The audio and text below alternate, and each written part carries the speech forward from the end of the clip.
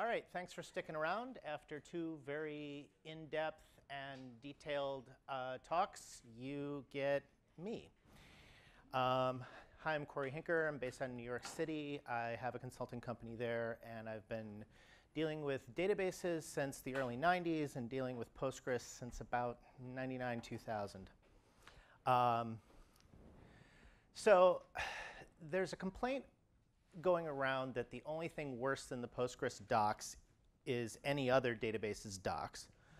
Um, and that's not a reason for us to rest on our laurels. And so I'm going to be tearing down what we have a bit and also talking about what we can do to possibly make it better in the future and what you can do as well.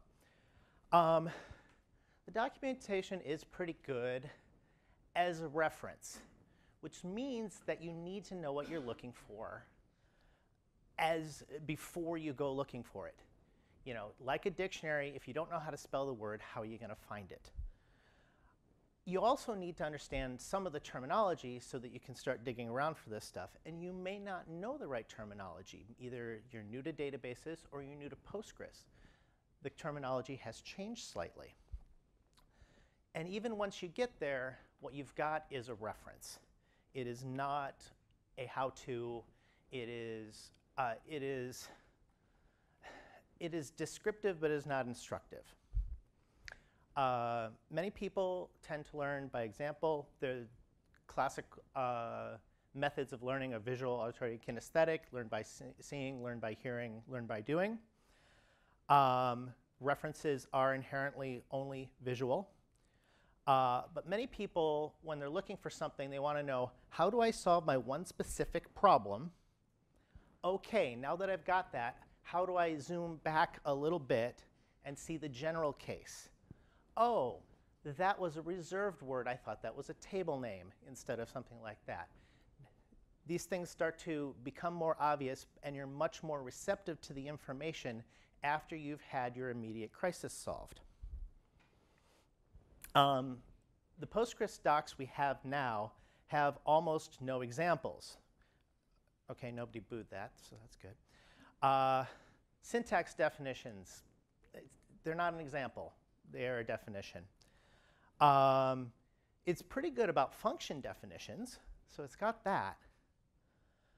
Um, but we need more. It's usually one example per function. Um, the examples they give are common cases. They're never edge cases. Um, the, we need a much more comprehensive list of function usages and inputs. Doesn't have to be on the same page as the definition. Um, and then maybe some thought to function composability, because often these things aren't used in a vacuum. There's command examples.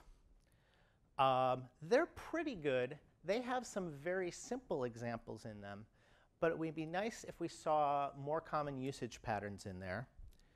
And then perhaps a little bit more of the context around the problem, the state of the database before and after, even if that's just describing a table.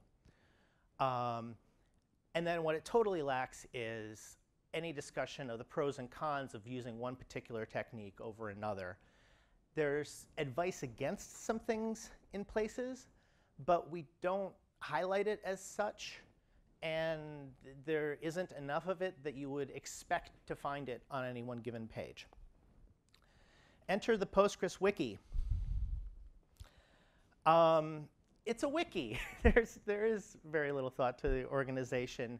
Uh, it, it is organized much in the same way that uh, you do split pages on indexes. It just, you go till the page fills up and then you make a couple of pages to handle the overflow. In that sense, it is the junk drawer of wisdom. And while what is collected there was really, really insightful at the time of collection, um, some of the stuff has begun to age. Uh, and there is nobody actively looking for you know, examples where there's a better code path now. Uh, partitioning is really one of the areas where this has come to light, that we've completely upended the right way to do partitioning in Postgres. and there's just a whole lot of examples out there showing us the old way. Um, there is occasional reference from uh, the wiki to the Postgres docs, but there is obviously, and this would be very difficult to maintain, no reference the other direction. So if we were looking to push a lot of this information off onto the wiki itself, the core documentation isn't doing us any favors.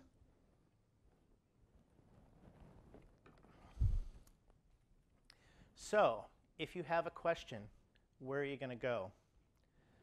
We really ought to have an answer for this um, because otherwise they could find out the wrong answer.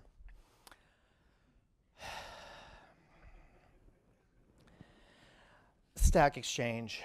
Um, it, it gets the Google hits. Um, so what can I say about Stack Exchange? Um, the expertise level on there is fair to middling. And one could argue that it's a source of, that's a sign of our own success, that anybody who is uh, very knowledgeable about Postgres is currently not only employed but overemployed, and then they don't have time to go trolling Stack Exchange looking to help people. Um, another thing is that the answers are ranked, but the ranking is essentially voting. So popular answers get bubble up higher than a good answer. Um, that's not necessarily the best. Um, like the wiki, the answers on Stack Exchange may have been right at the time they were written, and now things have changed. Okay, well, where else do you go? There is a uh, R PostgreSQL subreddit. I am on it. I occasionally answer some things on there. Um, one problem we've started to notice increasingly is that a whole lot of the questions look awfully like somebody's homework. And that is demotivating to the people giving the answers. Um, it's also not a very high traffic place. And a lot of what we get on there to drive up the traffic is people reposting questions from Stack Exchange. okay, so now you're starting to get desperate. We have an IRC. We have a Slack channel. Well, those require a person who knows the answer to be awake and to have some spare time. So the level of responsiveness you're going to get really varies by time of day. And as a result, just with the nature of chat clients, either you're going to get an answer immediately or your question is going to be completely flooded with additional questions and just chitter chatter. So either you get the answer right away or not at all, and that leads to an are we there yet? Are we there yet? Are we there yet? kind of repetition that tends to annoy the people already on the channel, and so that's not great.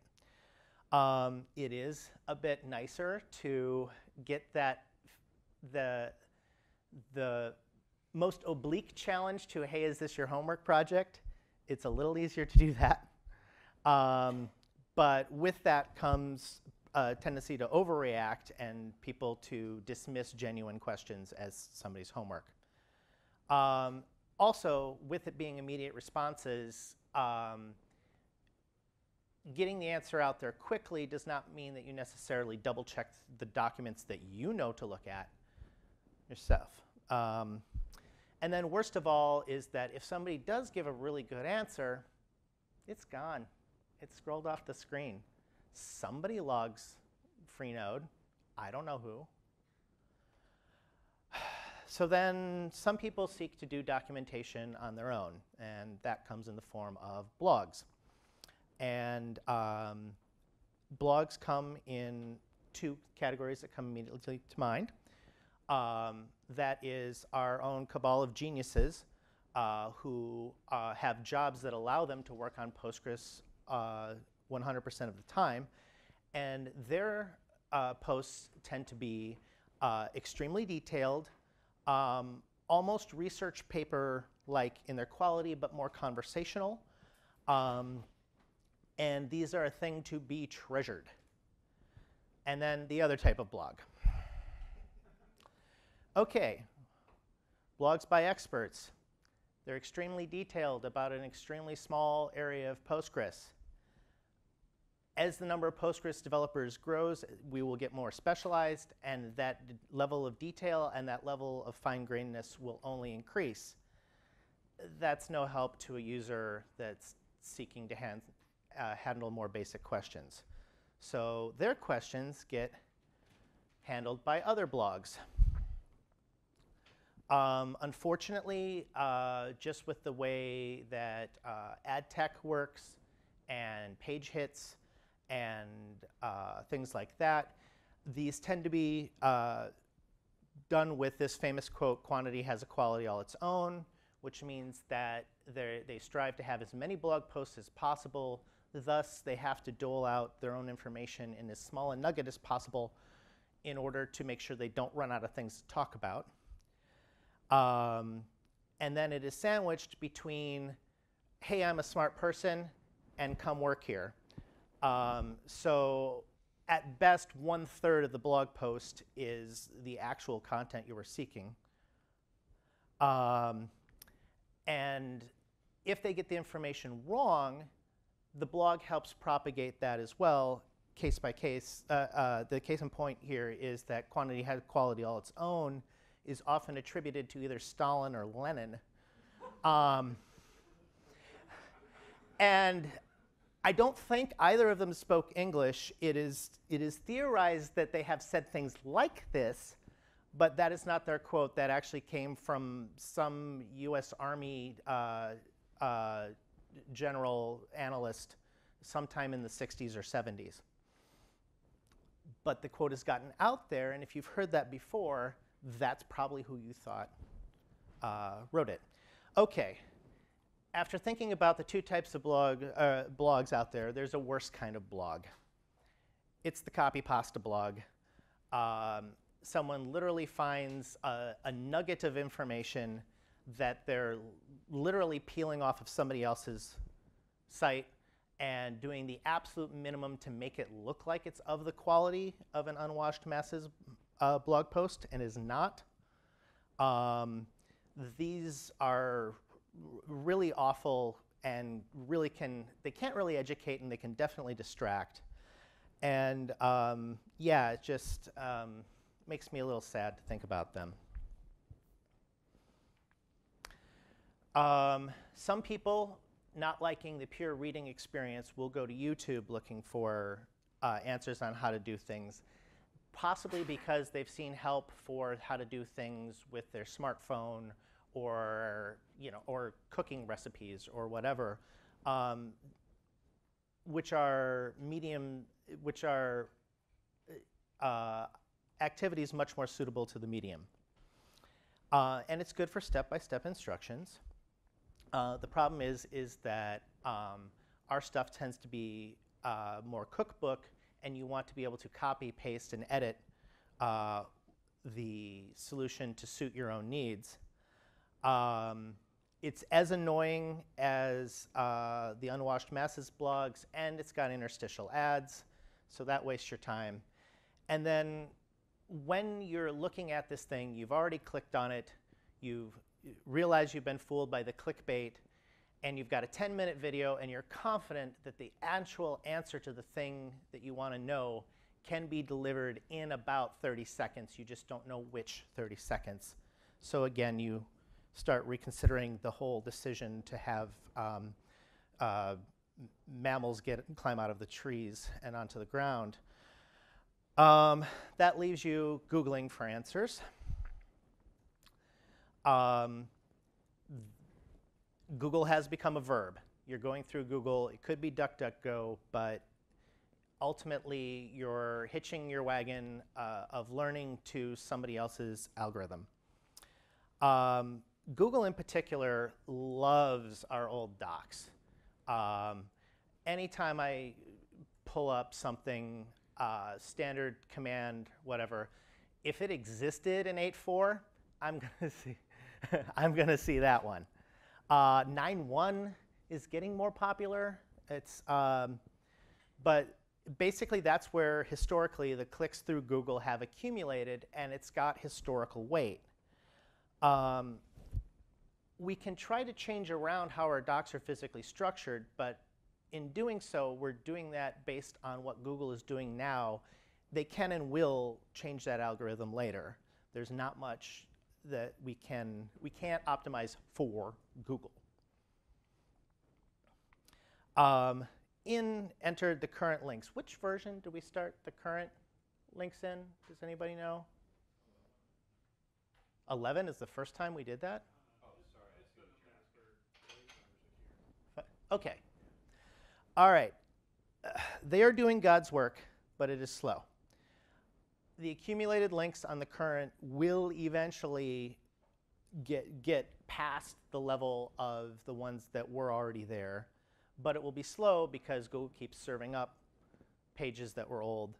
Um, hopefully, at, at, some point, there's a, the current links for certain things become a tipping point, and Google seems to have some sort of affinity for understanding that pages uh, that are grouped together by the leading substring are somehow similar. So the like when one current page starts to get more uh, clout, then it starts to override the other ones. But I'm not entirely sure of that, and of course subject to change.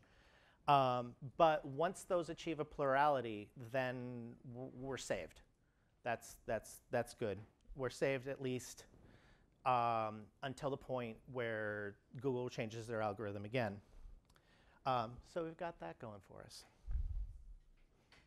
Yes?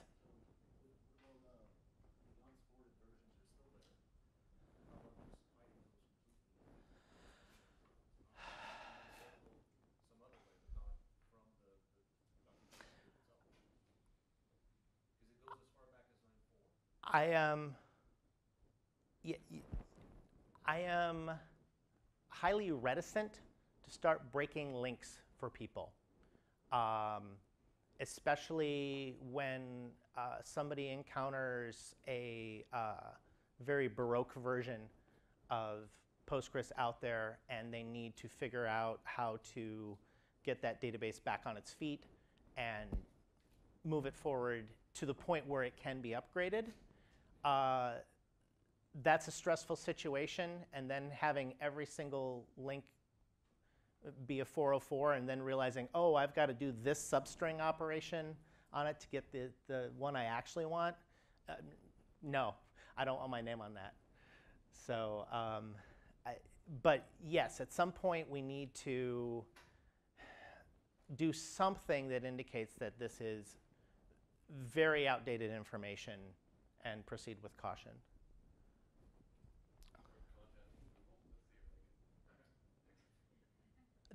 it doesn't matter what they say now, they'll say something else in the next sprint.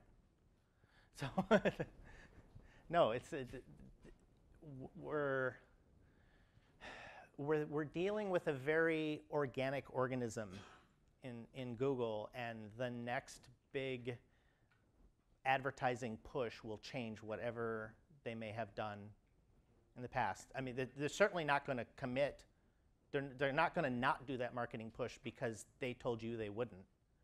So.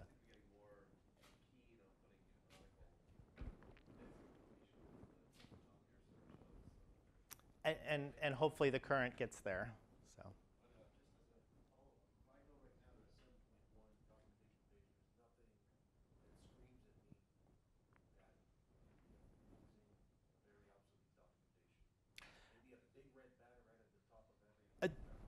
That would be fine.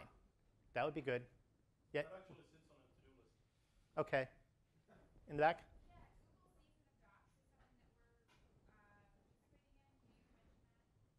Uh, later. Yeah, yeah. Google Season of Docs is a thing, and we have actual technical writers that are being sicked on stuff like this. But um, I wanted to get the scope of the problem out first, and then put it to them. Which of these things do they find juicy? Okay, so that's a lot of griping, and it makes it sound like things are really dire for Postgres. But as I said before, the only thing worse than the Postgres docs is everybody else's docs, and that's not even just databases. If you look at what's going on with Python, um, looking at a snippet on Stack, Stack Exchange of Python, it is nearly impossible to tell whether that is Python 2 or Python 3. Um, and that leads to a problem because certain libraries only exist in one or the other. And they often have emitted, uh, omitted the, uh, the import information that led up to uh, setting up that environment. So you're not even getting the right uh, examples. Um, and then the sheer volume of 2.x uh, Python examples has crowded out the 3.6 uh, and 3.7 examples that are out there. Now, Python 3.0 came out all, um, almost 11 years ago. Python 2.7 is end of life January 1st. All previous versions of Python are already end of life. Um, but then go out on Stack Exchange and see what kind of answers you get. So, uh, Node.js. Um, it is a house of cards in a room full of hair dryers, and that is me talking about the code. I can't talk about the documentation because there isn't any. The best you can hope for is a readme.md in somebody's GitHub. And oh, by the way, that's how you deploy the code by going to their GitHub and hoping it's up today. Um, OK, so moving on. Um, languages like C and Go have a big problem with their discoverability in that uh, their terms are um, almost entirely unsearchable. Uh, you can add lang, C lang, go lang uh, to it, but that doesn't necessarily come through the algorithm, and somebody needed to get that text into the post somewhere for Google to pick that up. It doesn't happen a lot. Now, talking about ungoogleability, uh, I need to take a side note and say that uh, if you Google for pgBackRest, you're going to get a lot of stuff from the Sharper image catalog. Uh, and if you Google for barman, you're going to get a lot of vodka tonics and things like that, and uh, tumblers and stuff like that. Maybe not the best names we could have picked for those. Okay, Linux isn't any better in this area. Um, the package naming uh, is not consistent across the various distributions. The package naming isn't often consistent within distributions. They, uh, what seems to happen is that maintainers start to rethink how they have organized uh, their packages in terms of like uh, some sort of hierarchy of classification. Um, and so from one version to another, the major, minor, minorist words in the package name get reorganized. And there's really nothing to tell you that happened, uh, which is the evolving classification methodologies. Uh, and even when you do have a good classification methodology, lots of uh, third-party software just chooses to ignore it and says, no, these are, these are the packages we're giving you. We don't care that they meet your naming convention. Do you want to install it or not?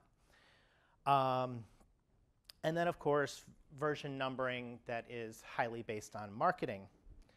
Uh, Android and iOS definitely on the uh, on this path. Um, they're constantly changing things, things that worked, changing for change's sake. Uh, the menuing systems that you are using on your Android phone now are not the ones you were using three months ago or the three months before that. Um, so if someone gives you instructions now, it is useless in six months, but that video will stay out there telling you how to do it wrong for years and years until it's crowded out by the next already obsolete example video. So we have some advantages in this. Um, first of all is our languages are text. We, these, these are programming languages. Uh, so screenshots and videos are rarely necessary. We can communicate in a, in a very base form. Um, above and beyond SQL itself, Postgres has made a very strong commitment to backward compatibility. So examples that worked once still work later. They may not do things optimally. A better way may have come along, but the old way still works. Uh, some of this is born of SQL standards and our adherence to them. Uh, and then when people are coming to Postgres from other databases, we're not that different. They have an understanding of how things ought to work, and then what they're coming to the documentation for is the little tweaks in which they're different. Create table is create table pretty much everywhere. You know, uh, int, big int, that might be different. Oh, you're not using number for uh, primary keys? That's weird, but okay. You know, and then they adjust. Um, moreover, our fairly tight adherence to SQL standards means that when they do have those bits of cognitive dissonance coming in, they can say, oh, the place I came from, that was non-standard, you know. Uh, MySQL's backticks to identify object names. That's the weird thing. I thought Postgres was weird. This is actually a SQL thing. Um, this works in our favor. Uh, we have always had purely numerical uh, names for our versions. Uh, now it's better in that we're doing we're not doing dot releases uh, that a person could, as the number of versions accumulates, start to get the notion that you take the Postgres version you're looking at, you add 2007 to it, and you get the version uh, when that version came out. Will we hold to this? I don't know, but it's going to be a pretty good approximation for a long time. Um, perils of non-numerical versions, uh, looking for Linux stuff. There's Disco Dingo, Warty Warthog. I mean, the alliterative stuff is great for marketing, but when you start to go into you know the apt config, and try to figure out what, what string to put in there when you need to upgrade versions on a third-party repo. It's maddening. Um, Android, their version names are trampling words and candy and, and trademarked names, and I, I'm um, very frustrated with that. OSX, not any better. When you start Googling for things like that, if you don't include O, S, and X in the search, you will get you know, various zoo animals coming up in your results, uh, vacation de destinations, and I'm sure it's only going to get worse there. Okay, so um, what can be done about this instead of complaining to your whiskey glass? Uh, I think that our documentation could use a glossary. Um, I went looking for one. It could to me that there might be one. Uh, but asking for a glossary led to the link terminology and notation. And uh, the other link back in 6.4, both of which come up to conventions, which is not an actual glossary. Um, this may seem like um, a, a, trivial thing, but just having the database terms defined somewhere tied into our own documentation is probably really going to help somebody. And it draws people in to our more current versions of the documentation. Um, and that is the problem, is that when you don't know what you don't know, you don't know the words to describe what you don't know. Um, and then additionally, the translations um, of a glossary are not only a mapping of English to Postgres, they're a mapping of all other languages to Postgres. So at least we're getting the person searching on the right terms. Uh, yes. Um, so um, I would like, and I had hoped for, and I looked very hard for a tool that allows you to do document-like redlining, if people have seen this, where you have a version of a document, then the new document, and you can see which lines have been deleted from the old one and they're struck through, and which ones are new and they're highlighted in some friendly color. Um, this tells people not only what did change, but also is greatly reassuring in what didn't change. Um, the, the first place I really saw the benefit of this was in one of my hobbies was refereeing a sport called roller derby. And the, it was a very new or resuscitated sport, and so the rules were very much in flux. And when a new set of rules came out, it was important to go to the redlined portions of the document to see, oh, this is different. But even better was the ability to flip through page after page, white as they could be, realizing that nothing had changed about that and I need not worry. That was very reassuring. So I went out and looked for ways to do that with HTML. Like, could you do this with the Postgres docs as we've got it? And there are front-endy desktop tools that can kind of do it. And the problem is, is they have a very hard time telling what's a content difference and what's a styling difference. Um, so it's just not going to fit into our build system. Um, and I was feeling very bad about this because I thought this initially was going to be really one of the center proposals of this talk, and the problem is, is it doesn't does doesn't work that way. Um, uh, uh, in Peter's talk, he was uh, discussing some of the, the things with um, SQL standards, and they don't have it, and they're a huge organization, so they don't even have those things. They do redlining, but they do it manually. So my thought was what we can do with the documentation is start adding new and updated badges to the source, uh, to the documentation as we make changes.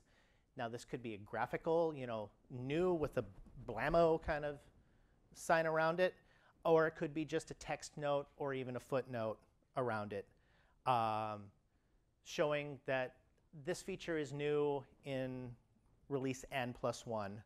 Uh, this feature has changed since feature uh, uh, since version n. Go look for that. Um, and then um, if we have just changed the document but the feature is the same, have some way of saying that you know this text was clarified since the last version. And you can very easily toggle between the various releases of a page and see things that way. That footnote would at least clue you in that oh yeah, this is different now. What you knew about this has to change a little bit. Um, and then as far as our ability to maintain it, um, pretty much whenever we uh, cut the release for uh, version n plus 1, we take the, the master tree and we just blow away all those badges because that's how it was in the last release and anything we do from there get, gets badged. Um, our citability could be made, um, uh, could be, um, I, should say they aren't granular enough, so sorry for this slide. Um, what I would like to see is us starting to use anchor tags within pages, uh, because right now if you point somebody to the substring function, they're going to get the link to the pages on string functions, and there's a lot of them. If you if you point them to the uh, um, one of the JSONB make row functions, they're going to get the whole JSONB page instead of the one function they care about. If we put in an anchor per function, that would allow us to direct the person to a much, the, to the part they actually care about on the page that they probably ought to read later after they've satisfied their immediate need. Um, if we have, uh, um, we have use cases, it would be nice if we had uh, a, an anchor link to those. So if somebody wants to share those around, that can draw the person into our documentation, our more recent documentation. And then I would like to say that what we should have is that anchors should never die from one version to the next. If we do end up retiring an anchor something, we move it to a gutter at the bottom of the page. Oops.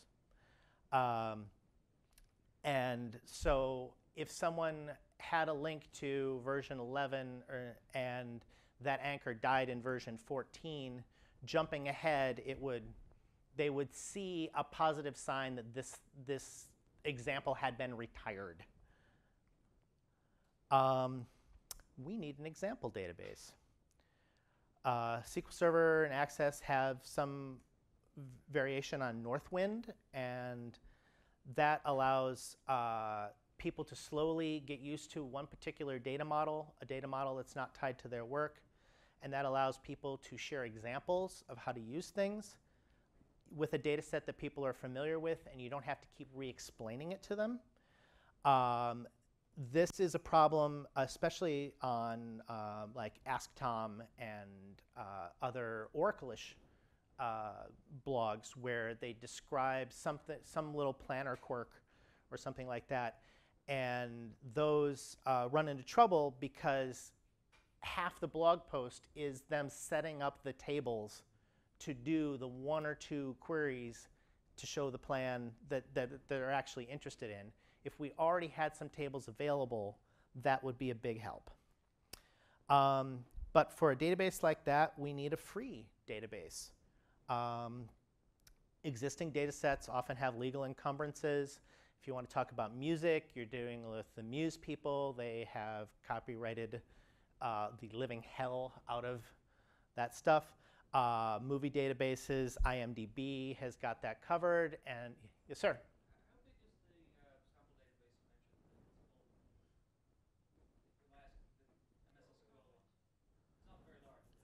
It is, it is not, and I, um, and in a later slide, I say that the goal is that it should be creatable from scratch in under five minutes. And, and how much you can do in five minutes will grow with time. So uh, that's, that's one thing that I'm going to be looking at. Um, so we can't even try to use this stuff safely in a non-commercial way because they often have trap information in there um, that, oh, wow, that went off the bottom of the slide, bummer. Uh, it was just a link to uh, uh, trap streets uh, where a mapping company will create a fictional street so that if you start to use their data, they can take you to court and point out that this street doesn't actually exist. The only place it exists is in our maps, so you must have copied it. Um, let's not get into that problem. It also needs to be an interesting database. uh, looking around, I found a decent reference database involving USDA nutrition data. Uh, not the most spry topic in the world. Uh, more interesting data can be census data, but it's also very flat. There's no relations in it, so that's not very good. Um, and then the one database that seems to be out there is the DVD rental store. There will come a time, not too far in the future, where people start to ask, what is a DVD? And so, and the notion that you would have to go to a place, not the place you're currently at, to get these things will become confusing to them. So we got to dispense with, with that. What should this database cover? Um, we should hope that it can test most major parts of Postgres, oops, including foreign keys, partitioning, views, materialized views, all index types, triggers. Sorry for all the clicking. Um, uh, each type of trigger uh, fun functions in all the language that we currently ship with core, at least one stored procedure, generated columns, and whatever else we imagine coming up in the future for future versions. Um, uh, we would like it to be loadable in about five minutes. Uh, so if someone is recreating it from scratch, they're not too inconvenienced. Uh, the database itself should be tied to a version so that we're not worried about how to make something that was a good example back in 9.6, assuming we had one of these, work with the new partitioning stuff. Well, you needed examples for old partitioning, and a 9.6 database would have been helpful for that. Um, and then, of course, there should be a table in it that has what version is this particular example database so that when people are describing these things on blogs, they can show as a form of proof which one they were using. It would be nice to have a REPL. Uh, this amounts to a hosted example database or some way of easily packaging it and putting it on your computer. Right now, the best example of I know of that is Postgres app, but that's only for OS X. Uh, it should have the ability to reset itself back to the starting form so that users are not only allowed to, but encouraged to do destructive operations for their learning effect. Um, It would also allow people to run the commands themselves as they're reading them off some sort of cookbook or tutorial. Um, and then essentially this database could become what amounts to template 2. I'm not suggesting we ship it by default, but if it's truly instructive, it could, it could eventually become that, that close. Uh, collections of recipes. Um, right now, the wiki has a lot of these, uh, but it's not sure or clear what versions a particular uh, example is for. Um, it would be nice if the wiki went out of its way to use those new anchors for citations as much as possible. And then along with it, and this is what wikis are good for, and not only showing the solution, but some commentary on the, what made you make that decision, how, why you chose to solve it that way. And then I would liken this to almost like sportscaster level of you know play description, where let's go to the tape and okay, well the blocker did this and that allowed this person to get through. That sort of thing really aids in educating people. Um, if we have an example database, write all the recipes against that. Um, you could even go so far as to have the wiki essentially have regression tests where from one version to the next, it compares the query output and then uh, to instruct us as to whether we need to uh, break off this particular um, uh, this particular example into a version, you know, version n and down and a new one for n plus 1. And then, of course, we would have to basically review that, right about release time. And would this be Google summer of testing? I don't know. they seem to be finding new things to have summers about. So I.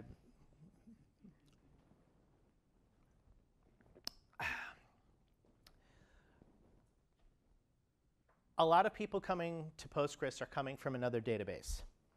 Um, if we had some sort of guide that is a, oh, welcome here from Oracle, here's what's different, um, and that would be very version specific uh, to basically acclimate the person to these things. You know, um, you know, coming from SQL Server, well, yes, we have identity columns now, and they work very similarly, but you should know that we always also have these things that are kind of Oracle-ish called sequences, and they often get used for the, the same purposes. So you know, that would be um, a uh, big help to people. And it also is a chance for us to toot our own horns and say, you know, look, you know, you had to do this in this way in SQL Server, and now you got a choice of ways to do it. Um, maybe this goes in the wiki, maybe it goes in Core Docs, I don't know. Um, it would be nice if we had a way to enlist people to becoming archaeologists. That is the term I'm sticking with because uh, it sounds better than vigilantes. Um, that collect submissions of code examples, look, exa uh, look for examples of them, basically trolling Stack Exchange, looking for where someone is wrong on the internet. And uh, where possible, incorporate those things into the wiki. Uh, in the case of bad examples, see if you can correct them in place. If the Stack Exchange article is still open, post a correction. Post a correction with lots of citations. If it looks professional, it will get upvotes.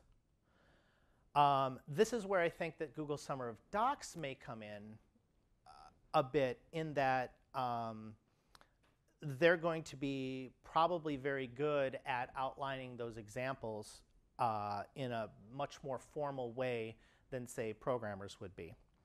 So finally, what can we do within Postgres itself? Uh, the PSQL commands are pretty cryptic. Uh, show of hands, anybody know what this one describes? Huh. right. Okay.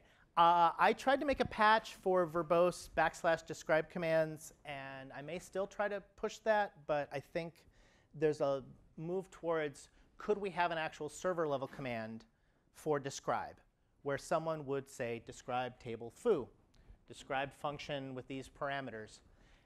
And the, the output would be the uh, equivalent of whatever the appropriate D-level command would, would have been had the person been using PSQL and known the incantation required.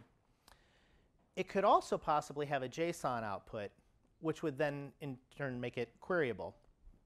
Um, the challenge here is that all of the stuff that does describes inside of PSQL is on the client side, and we would need to move it over to the server side, and that's going to have some issues with cross-pollinating our, our, there is no DMZ for client and server code inside the, the source tree, is there? There is? Yeah, the, yeah, it, it's a very good question where it's going to belong. I certainly didn't know the answer. Um, it would be nice if we had uh, a subvariety of the show command for show create. And what these would essentially be is the PG dump output of a particular uh, um, object that you've just described. Um, and pretty much whatever PG dump did for that particular thing, if you tried to dump just that one object, that's what I would like to see this do. Same problem that you've got some client-side code that would now have to live in and be shared in two places. Um, show help. This one's getting a little further afield because um, it's like, do we want to store all this text in the core database? I don't know. Do we want the database fetching web pages? Eh, I'm not, not, not real comfortable with that. Um, but it would be nice that a person could get a level of help at the server level at least as much as they get it at the PSQL level. Um, and this could be something that ends up being uh, an extension that uh, we tie on or something like that. So those are some dreamy things about what Postgres could change to be. What can you do in the meantime? Start setting a good example with the code that you put in blogs and things like that. Um, simple, say what day it is. You know, it's always tough when you're like seeing a news article um, that someone shared with you and it sounds like something that's really imminent danger and then you realize it was from 2015. So it's no problem at all. Put a date in your code examples. Um, put version examples in there and version examples of any tools you use to do that example. Um, Stack Exchange and things like that have you know a date on your comment and stuff, but that data may get scraped away um, when somebody else tries to put this on their copy pasta site. So don't trust them to do that. And it can be as simple as this. Just at the start of your example, pop that at the top, and then you know it's people can see whether this is going to be relevant for their concerns. Um, yes, ag- again, show it in the code itself. Um, when you are citing the docs, and please cite the docs a lot, use the most granular link possible. Uh, get it down as narrow as possible so the person is seeing the most relevant thing. The whole page is going to load. That's theirs to read if they want it, but try to do the best to give them the most specific thing. Um, the question is, do we cite the current version that they're using, or do we cite the current documentation? Well, that's kind of case dependent. Um, and it also depends on whether we orphan anchors or not. I, if we don't, and I really hope we don't, that's a good argument for using current a whole lot more than using the version specific stuff. If we do end up orphaning anchors, then the current version makes more sense. Uh, other pitfalls when documenting. Um, graphical documentation uh, is very, very nice and very, very instructive and helps me a lot, but it's not handicap accessible. Um, and you need to have alt tags for those things. And these concerns are not going to ever get less important as time goes on. And it may get to the point where there is regulation concerning the accessibility of your website and can you be shown in certain countries. So in this case, because we're so text-based, we're a lot less exposed to this than other people, uh, but we are not immune to it. So wrapping up, There's a lot of information out there. Some of it is wrong. Maybe you want to fix it. Some of it used to be right and now isn't. We can't control it, but we can try to counterbalance it, overwhelm the bad information with better, more inviting information. Uh, we could be doing a lot more about this than we are, but we've been busy making Postgres itself better that we haven't, that the docs have lagged a little bit. Uh, it would definitely enhance our reputation to do so. And we would have fewer, fewer homework-like questions to answer.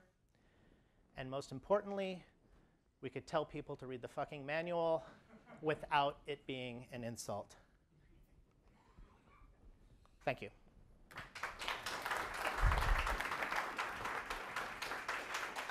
We're really short on time. I don't think. Uh, do we have any time for questions or like? Oh, okay. No. Read the manual.